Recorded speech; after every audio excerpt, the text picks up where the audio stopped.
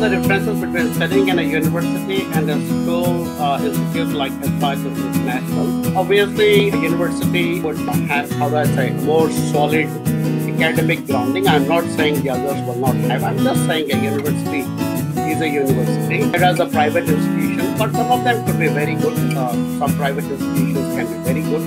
Uh, in fact, one of the private institutions that I truly admire in New Zealand called Media Design School. This is a private uh, institution and it only specializes in creative uh, courses like 3D animation and visual effects and motion graphics and uh, game development and stuff like that. So private institutions can be very good as well.